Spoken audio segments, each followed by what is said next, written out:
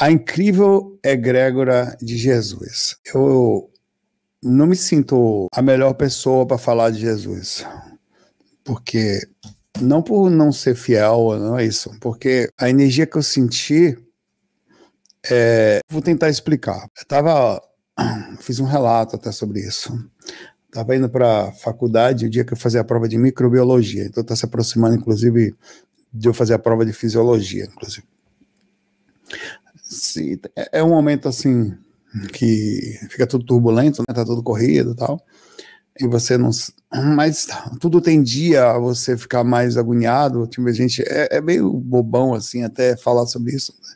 porque algumas pessoas parecem ter problemas tão sérios, esses problemas parecem ser tão banais. Ainda assim, naquele momento eu eu estava dirigindo, né, de manhã cedo, ali na na perto da Praça da Luz, um pouco antes. Aí eu simplesmente falei, quer saber? Eu estava escutando, eu estava estudando no meio do caminho assim, vou relaxar, fiz o que eu pude, eu vou. Naquele momento eu me desconectei da preocupação, eu, eu me desmaterializei. Eu falei, eu vou, fiz o que eu pude, eu vou levar meu corpo, minha presença, aí passei na prova. Né? Você com média 7,5, mas nada muito óbvio, mas passei. É, foi e nesse momento que eu me desliguei, é, eu comecei a sentir uma energia, em pouco tempo depois, uma energia muito estranha. Aí me veio na mente Plotino, muito forte. Eu tinha lido ou tinha recebido informação de pessoas queridas próximas de que é, é, sobre a informação e coincidentemente eu senti a energia crística. Senti uma energia de caridade séria, muito forte. Aí eu foi tão forte que eu botei uma musiquinha, né, para entrar naquela energia, só que eu não conseguia manter ela. ela. Eu chegava perto dela e saía um pouco. Aí na hora que o carro parava, eu tentava me conectar de novo. De repente eu percebi que eu entrei na energia de um nível de seriedade quanto a mudança e a formação do caráter tão séria e tão profunda que eu nunca tinha sentido tamanha profundidade. Eu nunca tinha sentido em nenhum lugar que eu fui uma energia tão forte como aquele momento eu senti, para você ser uma pessoa melhor. E eu percebi que eu tinha entrado numa energia próxima da que Jesus propagava. E Plotino foi, segundo falam, uma encarnação de Jesus algum tempo depois. É, ele, para quem não conhece, ele foi um filósofo grego que nasceu é, acho que 200 e poucos anos, eu tenho algumas informações aqui, nos anos 2000, na cidade de Helicópolis, no, no Egito, né? Depois ele, é, devido a, a, aos 28 de idade, decepcionado com os filósofos da sua cidade, que não conseguiu satisfazer as ideias e as pretensões filosóficas que ele tinha, ele viaja para Alexandria, onde ele começa a, a escutar o filósofo Amônio, que também era onde... E aí ele começa a falar coisas e puxar a primeira ideia do Uno, dar contato dele do, com o interno. Tem várias frases de Plotino que, se você lê lá na fundo, inclusive tem artigos que falam a ligação dele, você vê que é super interessante a conexão, às vezes, como ele era filósofo, né, a, a proximidade até é uma coisa de parábola, e a profundidade do contato com Deus e com um contato interior. Ele falava várias vezes de, desse processo, né? Tem várias frases bonitinhas dele que depois eu vou contar, que demonstram, mas independente disso, eu senti a energia de Jesus com a imagem. Eu não estava pensando nisso naquele momento, veio na minha mente. Que eu achei uma coincidência, mas eu senti a energia de Jesus, só que o nome era Plotino.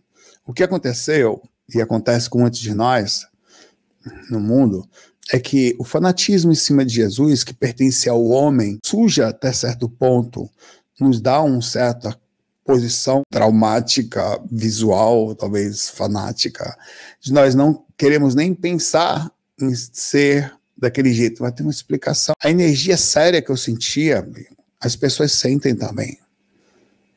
Eu não senti essa energia em lugar nenhum. Dos caras que eu já me conectei, tipo, das energias dos locais, não tem nenhum lugar onde faz um trabalho profundo, intenso sobre, de fato, a lapidação do ser humano. Só que isso é tão forte que essa, essa energia que eu senti era tão forte que se você não tomar cuidado, ela sobe e você passa a, a, in, entrar num esquema de querer ir a qualquer custo, a qualquer preço e tornar-se uma coisa rapidamente ou fortemente, e ela induz a um processo, se não tomar cuidado, de essa inserção sem pensar na seriedade, que pode levar à, à dualidade de comportamento, onde você começa a se tornar uma coisa que fala somente volta somente, fica meio fanático se não tomar cuidado. Porque a energia é muito bonita e forte, eu não estou falando bem dela. Só que ela é tão forte que ela tem esse poder de fazer essa mudança tão drástica nas ações. E ela é necessária que assim seja, porque ele vem pegar as pessoas que realmente precisam e modificar elas de um jeito em que elas consigam dar uma, uma alteração verdadeira nas suas ações. Tá? Se você pegar as máximas, as boas aventuranças de Jesus, elas são simplesmente incríveis. Elas sozinhas, até a transformação dos dez mandamentos em dois, são incríveis. É, amar a Deus sobre todas as coisas e o próximo como a si mesmo. Eu sempre fiquei pensativo sobre essa transformação dos mandamentos que, que Jesus colocou somente dos dez mandamentos do Velho Testamento em dois: amar a Deus sobre todas as coisas e o próximo como a si mesmo. Esse, eram duas coisas muito difíceis de entender. A primeira, mais ainda, como que se ama a Deus? As pessoas falam que amam, mas se você parar para pensar filosoficamente, é muito difícil amar uma coisa invisível. Você, ah, eu tenho amor à vida, então você tem amor a Deus. Eu tenho amor aos animais é, você entra num nível de dificuldade de conseguir entender tamanha flutuabilidade, apesar de as pessoas sentirem. Mas até onde? E eu sempre questionando, e, e, e parece que essa, essa egrégora de Jesus, ela está ela, ela tá ao redor de todos nós. E o projeto astral, ou qualquer pessoa que feche os olhos eventualmente, eu vi fora do corpo essa egrégora algumas vezes, eu percebo espíritos voltados a essa egrégora, sejam positivos, mentores, ou umbral voltado à egrégora de Jesus. No umbral, a energia que é mais contrária é a energia de Jesus. Você fale qualquer coisa no umbral, mas não fala o nome de Jesus. Não. Por quê? Fora a nossa cultura local, a força de transformação desse ser é de fato um antagonismo sem tamanho. Mas voltando aqui ao, ao ponto em que eu disse a vocês que eu senti essa, venho sentindo essa, esse magnetismo, essa energia incrível de Jesus e, e até de não, e não religioso, não, mas a presença da egrégora, a presença de um, uma sensação de ser uma pessoa melhor. Eu me lembro quando eu mais novo, eu li um livro que eu aconselho vocês a lerem, talvez um, energeticamente também o melhor livro que eu já tenha lido, magneticamente, que é o livro de Francisco de Assis, que conta a história do espírito que, havendo nascido como João, encarna na posterior com Jesus, né? O último apóstolo a ficar encarnado, ele ficou até o final da vida dele.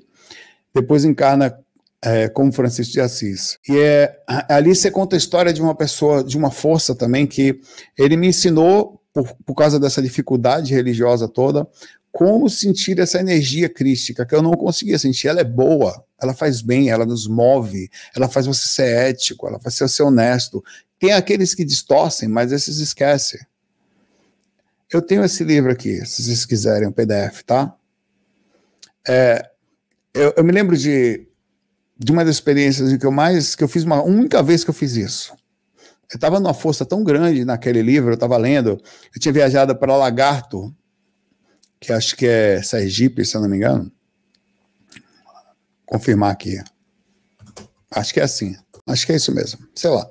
Aí eu fui para um hotel em Lagarto, estava lendo o livro no ônibus, a galera toda tocando pagode. Eu, a galera foi para Pisbeira. A gente ficou num, num hotel que era dentro de um parque.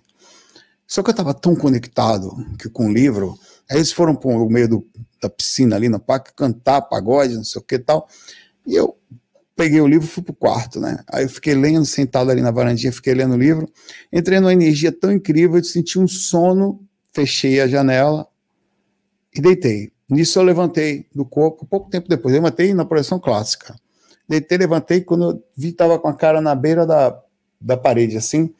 Aí eu só fiz descer um pouquinho, pisei no chão, quando eu olho para o meu lado direito, tinha um espírito nervoso, bravo, porque eu estava mexendo aquela energia no hotel. Bem bravo, muito bravo comigo, assim.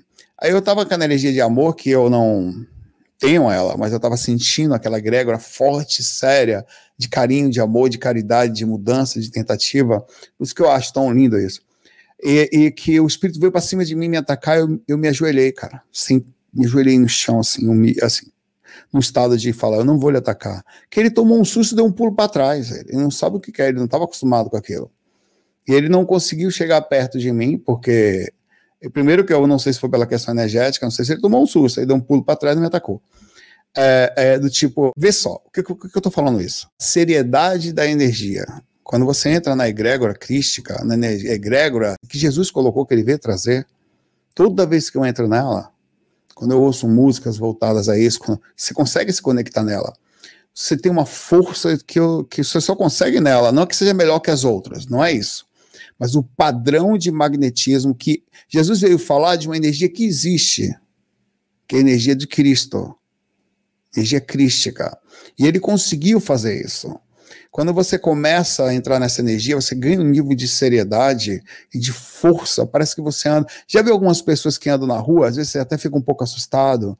O cara fala, Deus abençoe, aleluia, Senhor. O cara fala com você, você fala, nossa. O cara fala com que a paz de Jesus esteja com você, você embora, você, você toma um susto assim, meio que destoa da realidade, o cara está num nível de realidade totalmente diferente, o cara está na energia, velho, só que ele não percebe que ele não, ele não consegue mais controlar a força que ele sente da energia, da mudança, com a, a personalização das transformações das suas próprias atitudes, transformando-se em alguma coisa que às vezes assusta. Então, às vezes eu sinto isso em silêncio não mudando meu verbo, meu jeito de ser, mas sentindo em mim a energia dessa egrégora. E é isso que eu estou tentando decodificar aqui para vocês.